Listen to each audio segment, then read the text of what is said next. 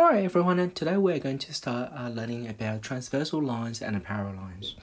Alright, so first thing I want to talk about what is the definition of transversal Alright, transversal lines. Now, say for example we have two lines, right? So let me draw two lines, that's the first one and that's the second line here. Now these two lines looks like they're parallel to each other. And then we have another line that intersect these two lines. So like for example, like this one here. So this line is called a transversal line. All right, and then um, these two lines are parallel to each other. Now, the proper definition of a transversal lines are a transversal line is a line that intersecting two or more other lines that are usually but not necessarily parallel to each other. So you can have a transversal line like this, right? So you can have a line, two lines that's not parallel to each other like this, or you can have another one that's not parallel to all right, the other one. And then you can have a line that's intersecting two or more lines like this. And we still call this line a transversal line. Um, there is no difference between the two lines, right, the two lines here. Okay, now what we are going to focus today is uh, we're going to focus on the angles created by the transversal lines and two parallel lines. Um, we've got some special angles here and um, there are some special property, geometric properties that you guys need to know. Alright, so we'll start with um, transversal lines and parallel lines. Alright, parallel lines. Alright, so the first angle or first pair of angle we are going to get is called corresponding angles. So for example, if we have two straight parallel lines, and then we have another transversal lines that passing through or intersecting this, um, you know, parallel lines, like this one. Alright, so that's um, a transversal line. And then uh, as you can see, there's so many different angles, alright, we can see from, you know, creating. And then uh, the most important angle I'm looking at is the angle here. This angle here, or is the angle there. Now, just by looking at these two angles, it looks like these two angles are equal to each other. Alright, are they equal to each other? The answer is yes. Um, these two angles are called corresponding angles.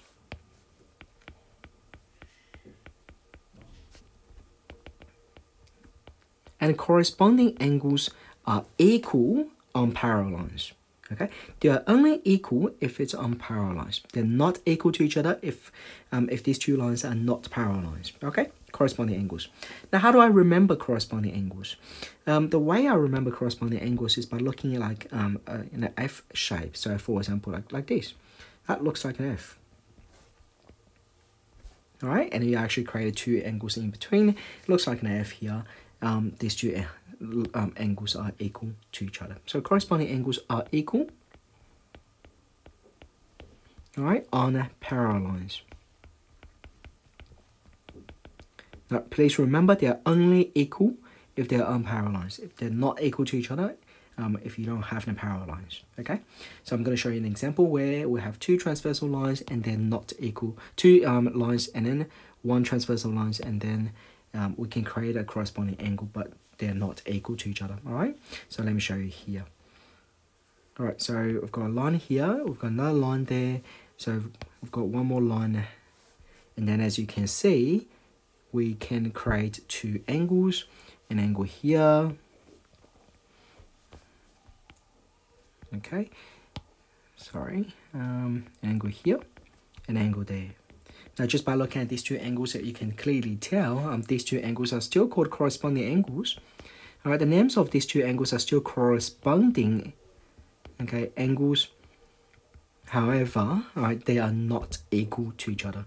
Um, just because these two lines, um, these two lines are not parallel to each other. So this line here, and then uh, the line there, they're not parallel to each other. So therefore, um, you can't say corresponding angles are always, all right, are always equal to each other, all right? Corresponding angles are only equal to each other, all right, if it's on parallel lines, like this one here. Okay, all right. So that's the first one. Now we're going to move on to the second one. So this is the first sort of like a, a pair of angles, right? So we can just write this is the first one, case one. Now for the second case, case two. Case two. All right, for case two, okay, shh, that is recording lessons. Thank you. For case two, uh, we can have another pair of parallel lines. Okay, so we have a one, two, they're parallel to each other, and we have um, a transversal line here.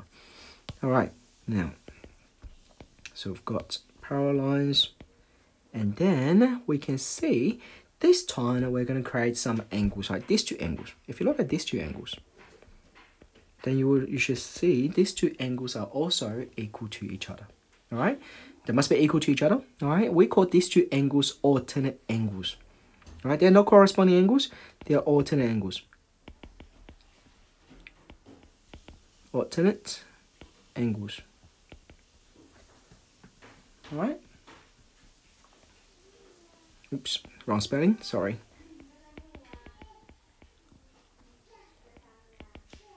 Alright, alternate angles. Now, alternate angles are equal only on parallel lines. Again, they're not equal to each other if it's not on parallel lines. So they're only equal on parallel lines. Alright, like the previous one here um, corresponding angles are equal on, par parallel lines and the alternate angles are equal on parallel lines. So right now they are called alternate angles.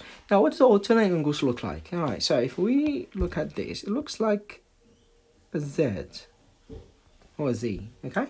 It's like a zigzag line, alright? It looks like a Z. Um, so, you know, this is one way you can remember. This is called alternate angles. It looks like a Z and um, these two angles are equal to each other. All right, now I'm going to show you another example where we have two um, lines that's not parallel to each other. And then we can have a transversal line. And then uh, I'm going to create an, uh, a Z, for example. I'd like to show you the angles are not equal to each other. Right, so let's just have a look at this. This is like Z. And then if we pay attention to the angles, all right, to these two alternate angles here, well, clearly you can tell they're not equal to each other one of the angle is obtuse angle right? And the other angle is an acute angle all right? Um, so they are not equal to each other all right? But we still call these two angles um, alternate angles. However they are not equal to each other because they are not on parallel lines all right so this is the second case. Now the third case we can still we can get one more pair of angles. Case number three. All right let's start with case number three. So we've got parallel lines we've got a transversal line and this time I'm interested at these two angles here. Now it's really strange about these two angles right now Alright, so as you can see, I'm using a two, um, you know, little arc here to label the second angle. The reason for that, alright, let me just probably change a different color so you can see it clearly. Alright, so I'll change that to, um, let's do green. Alright. So, are these two angles equal to each other? Well, the answer is no, they are not. Alright, it's not like the previous one, they're equal to each other, but these two angles are not equal to each other. All right. So what is the relationship then? All right. And what's the name of this um these two angles? All right. We call these two angles co-interior angles. All right. So co-interior angles.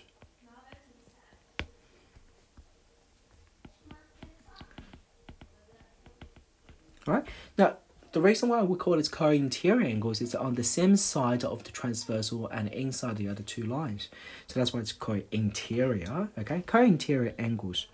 Now, are they equal to each other? They're not, right? So co-interior angles um, are what? Right? They are supplementary. So co-interior angles are supplementary. Now, what is the meaning of supplementary? Um, supplementary means when two angles combined together is equal to 180 degrees. So supplementary means the sum of these angles is equal to 180 degrees. That's the meaning of supplementary angles, right?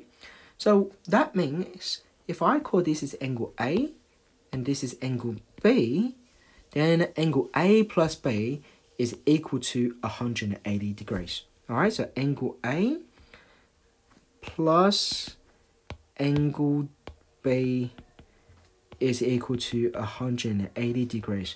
That is the property.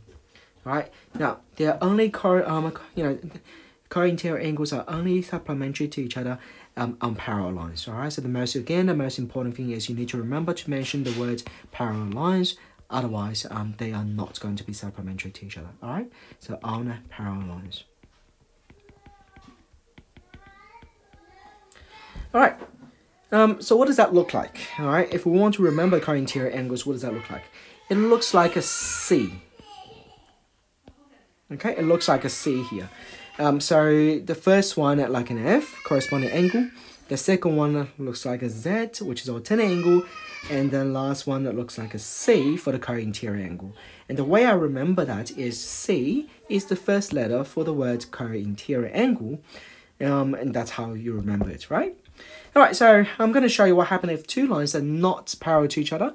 And um, are we going to get the same idea, you know, same um, answers? uh, whether they are going to be you know supplementary or not. So it's just going to create two lines here. They're not parallel to each other, and then we've got a you know uh, what's that called transversal angle. Uh, it's a transversal line, and then two angles are here.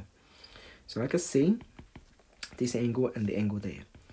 Now, although I can't really measure it, all right, but right now I can tell you these two angles are still called co-interior angles However, these two angles are not equal to 180 degrees. The reason for that is because um, if you look at the angle here, if these two angles must be 180 degrees when they add together, then these two angles must be equal to each other. However, they are not equal to each other, so therefore it is not equal to 180. Alright, so the most important thing that you need to remember here is um, for angles that equal to each other, right? If you want to the, find the pair of angles that equal to each other, the most important thing is it must be on a parallel lines. That's the most important thing. If we don't look at the parallel lines, then um, there is no angles that equal, all right? There's no special things about the angles.